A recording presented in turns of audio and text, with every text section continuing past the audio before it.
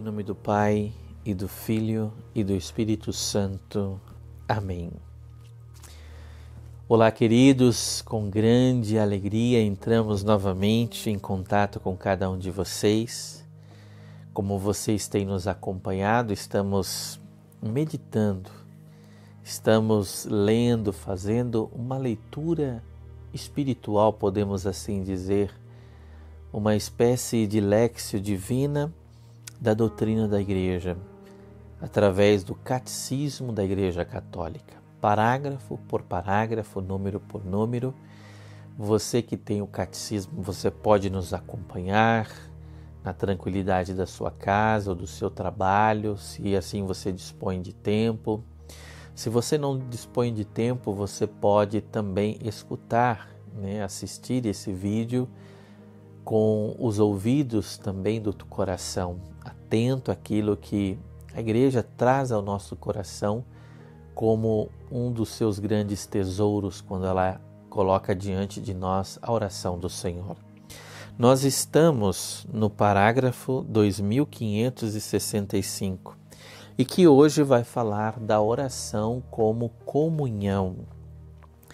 O catecismo começa dizendo: na nova aliança, a oração é a relação viva dos filhos de Deus com seu Pai, infinitamente bom, com seu Filho Jesus Cristo e com o Espírito Santo. A graça do reino é a união de toda a Santíssima Trindade com o Espírito pleno. A vida de oração consiste, portanto, em estar habitualmente na presença do Deus três vezes santo e em comunhão com Ele. Esta comunhão de vida é sempre possível porque, pelo batismo, nos tornamos um mesmo ser com Cristo. A oração é cristã enquanto é comunhão com Cristo e cresce na igreja que é seu corpo. Suas dimensões são as do amor de Cristo. Oração como comunhão. Orar é entrar em comunhão com a Trindade Santa. Orar é participar dessa comunhão, dessa relação de amor, desse dar-se infinito entre o Pai e o Filho, através desta relação que é o próprio Espírito Santo, esse elo de amor entre o Pai e o Filho. E nós somos colocados nessa relação através do batismo. Através do batismo, Deus fez em nós a sua casa. Através do batismo, nós fomos mergulhados nesse mistério do amor de Deus, para vivermos esta relação filial com Deus. Nós somos filhos vivendo uma relação de amor com esse Pai vivendo uma comunhão com Cristo, nosso Redentor, nos abrindo sempre à ação do Espírito Santo que nos santifica, que nos transforma e que gera em nós essa maior semelhança justamente com o Filho e com o Pai. Nós estamos numa relação de comunhão com Deus. Deus quis e Deus quer ter comunhão conosco.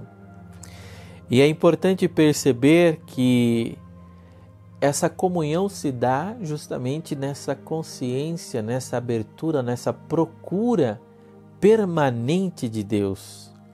Diz o catecismo: a vida de oração consiste, portanto, em estar habitualmente na presença do Deus três vezes santos, santo e em comunhão com Ele.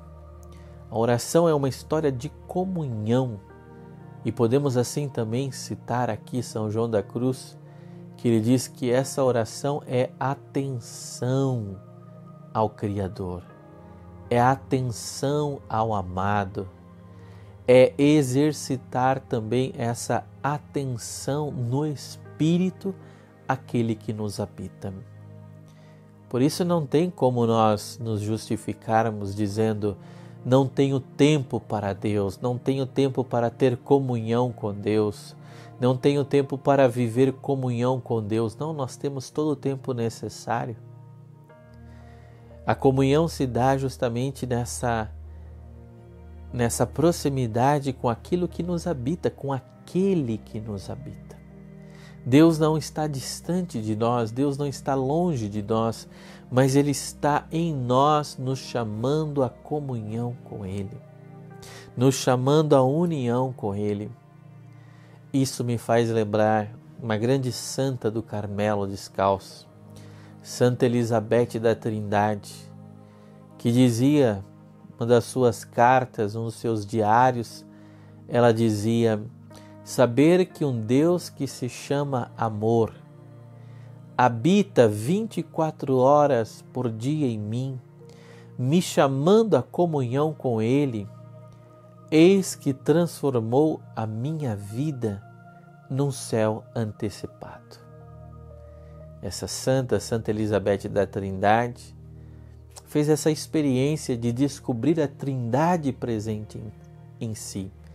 A Trindade que a chamava à comunhão, a Trindade que a chamava à união, a Trindade que habitava nela 24 horas por dia. Será que eu e você temos essa consciência, essa atenção ao nosso interior? Que a Trindade habita em nós 24 horas por dia, nos chamando à comunhão com ela? nos chamando, vem para o Pai, como dizia Santo Inácio de Antioquia, que ele ouvia essa voz no seu interior, vem para o Pai. É isso que vivemos no nosso interior. Um Deus que dá o primeiro passo, um Deus que se aproxima, um Deus que oferece a possibilidade de comunhão e de união com Ele. Que possamos avançar queridos, nessa busca de comunhão com Deus. Muito mais do que eu e você queremos comunhão com Deus, é Deus que quer comunhão conosco e muito mais. Essa comunhão já se estabeleceu no nosso batismo. Ao nos tornarmos filhos, Ele colocou a nós em comunhão com Ele.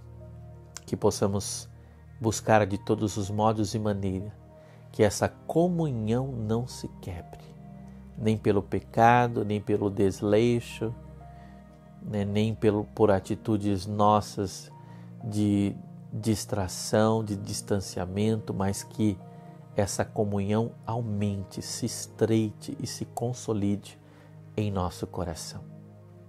É isso que a igreja nos pede, é isso que a igreja nos mostra. A oração é comunhão.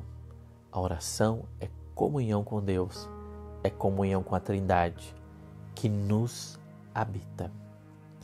Que o Deus Todo-Poderoso possa te abençoar e gerar em você esse desejo de maior comunhão com Ele.